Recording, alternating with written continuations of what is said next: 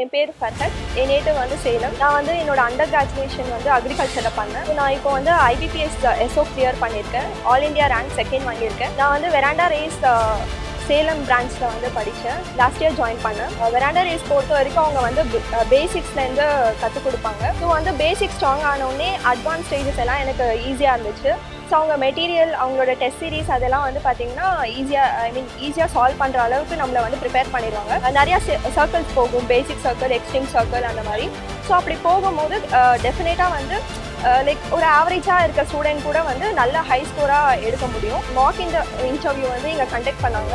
So அது வந்து டெஃபினட்டாக வந்து எனக்கு ஹெல்ப் ஆச்சு.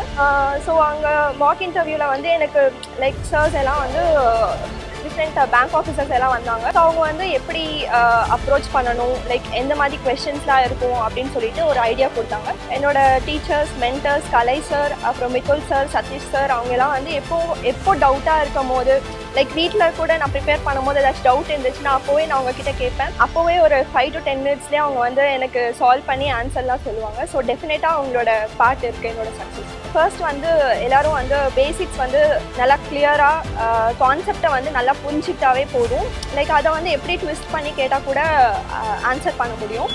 அதுக்கப்புறம் என்னோட பேரண்ட்ஸ் ரொம்ப சப்போர்ட்டிவாக இருந்தாங்க. என் சிஸ்டர் அப்புறம் என்னோட வெல்விஷர்ஸ் எல்லாமே வந்து ரொம்ப சப்போர்ட்டிவாக இருந்தாங்க. ஸ்டாஃப்ஸ் எல்லாமே சப்போர்ட்டிவாக இருந்தாங்க. லாஸ்ட் இயரும் நான் வந்து ஐபிபிஎஸ் எஸ்ஓ வந்து எழுதியிருந்தேன். அப்போ வந்து பார்த்தீங்கன்னா மெயின்ஸே வந்து கிளியர் பண்ணல. பாயிண்ட் டூ ஃபைவ் மார்க்ஸில் போச்சு. அது வந்து கொஞ்சம் டிமோட்டிவேட் டிமோட்டிவேட்டிங்காக தான் இருந்துச்சு.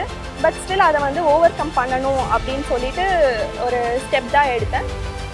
அப்போது ஓவர் கம் பண்ணி வரும்போது நமக்கே அந்த நம்ம மைண்ட் செட் ஆயிரும். லைக் வந்து எப்படியாவது கிளியர் பண்ணணும் அப்படின்னு சொல்லி அந்த மைண்ட் செட்டில் வந்து ப்ரிப்பேர் பண்ண சக்ஸஸ் ஆகிடும் ஃபர்ஸ்ட் வந்து உங்களை பிலீவ் பண்ணுங்கள் அண்ட் நல்லா ப்ரே பண்ணுங்கள் ஒரு பீஸ் ஆஃப் மைண்ட் ப்ரேயர் உங்களுக்கு வந்து டெஃபினட்டாக தரும். உங்களால் முடிஞ்ச உங்கள் பெஸ்ட்டை வந்து தாங்க. And definitely you will do your best